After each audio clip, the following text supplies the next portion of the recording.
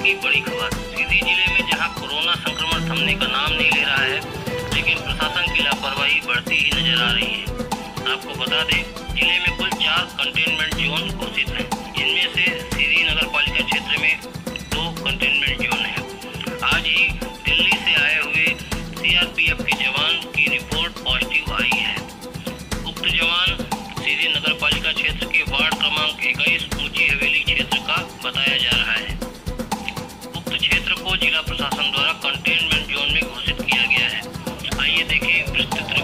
जो कोरोना मरीज़ है वो कहाँ पे है? उसका घर कहाँ पे है? पीछे साइड है पाँच छः घर छोड़ के। अच्छा इसमें जो अभी बंद किया गया है ये वाला पूरा रास्ता हाँ हाँ। तो इसमें कितने लोग प्रभावित होंगे? प्रभावित हम लोग हम लोगों के यहाँ सात आठ फैमिली रूम है किराए जो दिए हैं। हम्म। हम लोग भी प्रभावित हो रहे हैं हम लोग हमारी दुकान भी है यहीं पे। अच्छा इस वाले रास्ते से और पीछे वाले रास्ते से बंद किया गया नहीं यहाँ से लेकर वो मतलब पचास मीटर यहाँ पे ये बारी लगाए हैं बस। बाकी और सभी जगह खुली है। उनका क्या नाम है? इसका जो मरीज़ पाए गए हैं। प्रजापति हैं कोई? ये जानकारी नहीं है। उन लोगों से कोई संपर्क संपर्क नहीं है अपना? और जो न, अपना ये न, सेवा बस्ती है अयोध्या बस्ती हाँ हाँ हाँ। यहाँ- ये वाला रास्ता भी बंद है क्या? नहीं नहीं सब खुला हुआ है अच्छा वो वाला रास्ता खुला हुआ है बीच का एरिया बंद किया बस बस का एरिया। मतलब बीस से पच्चीस घर। ये आसपास के जो घर है बीस से पच्चीस घर। चलिए।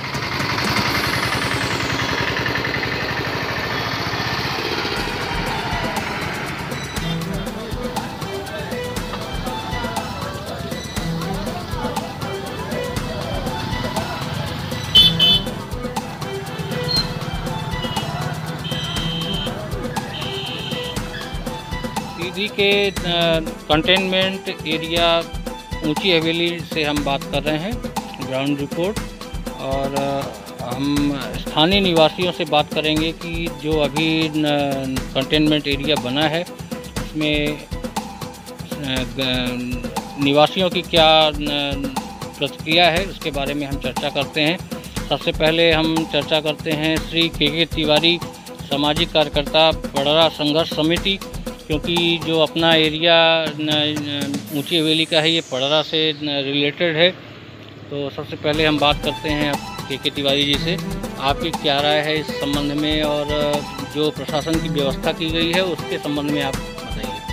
अभी मैं थोड़ा चला गया था गाँव मेरा, यहीं पे पड़ता है, तीस किलोमीटर आगे सोनवर्षा वहाँ से मैं लौटा तो मुझे जानकारी हुई तो अभी देखा कि रास्ता सील है, लेकिन उसके बगल से रास्ता हमारे पड़रा जाती है। आगे पड़रा कमला कॉलेज के पास घर है, श्रीनगर कॉलोनी में। अब दिक्कत ये है कि अपने कुछ पता था नहीं। अब ऐसे ही लोग आएँगे छूट छूट मचाएँगे तो दिक्कत हो सकती है। इसलिए प्रशासन से ये बोलेंगे कि उसमें वहाँ पे एक दो ठो पुलिस वाले या कुछ चिन्हित स्थान बनाया जाए, जिससे लोगों को पता रहे कि कंटेनमेंट जोन और अभी तक तो ऐसा कुछ समझ नहीं आ रहा है। कौन कहाँ से आ रहा है, कौन क्षेत्र क्या बनाया गया यही है कि प्रशासन को वहाँ पे कुछ ऐसा चिन्ह वो पुलिस वाले बैठा है, जिससे लोगों को जानकारी रहे और लोग उससे दूर लोगों से या कम से कम लोग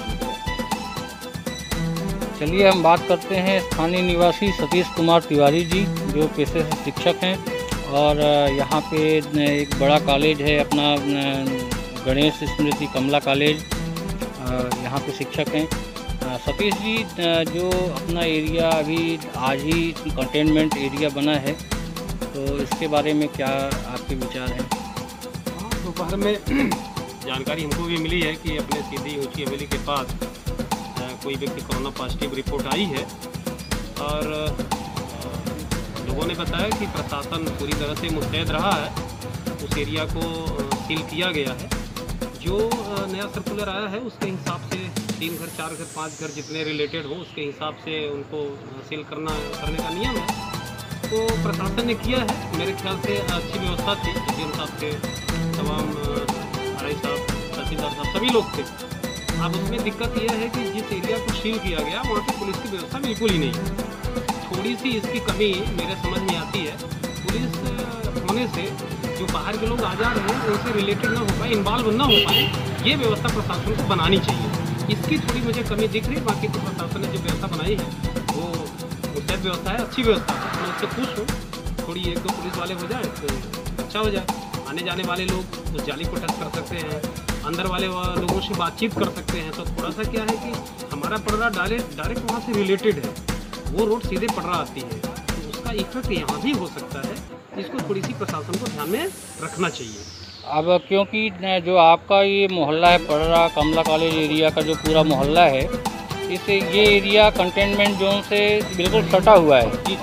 तो काफ़ी आवाजाही हो रही है और जैसा आपने बताया अभी कि रास्ते खुले हुए हैं चारों तरफ़ के तो उसमें आसपास के जो दुकानदार हैं और निवासी हैं, उन पर क्या इफ़ेक्ट होगा, उसके बारे में अभी इफ़ेक्ट तो देखिए, यदि पुलिस हो जाती है तो वहाँ व्यवस्था बन जाएगी।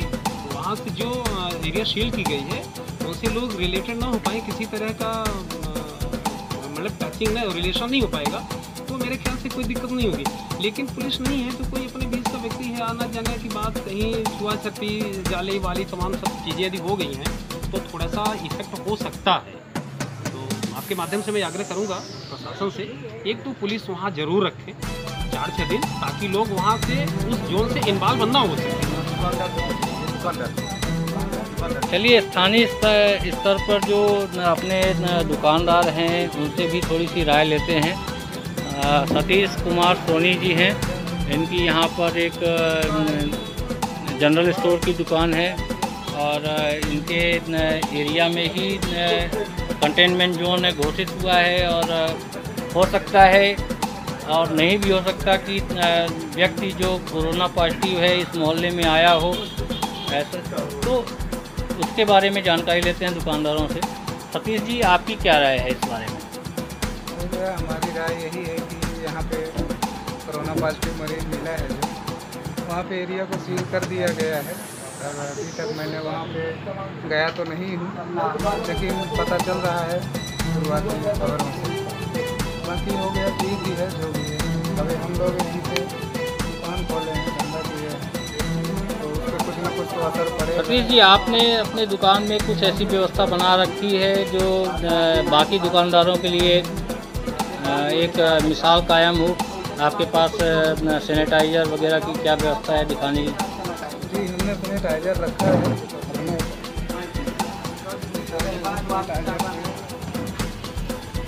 बीच में हाथ धोते रहते हैं और ग्राहकों को भी हिदायत देते रहते हैं थोड़ी दूरी बना कर सामान लें।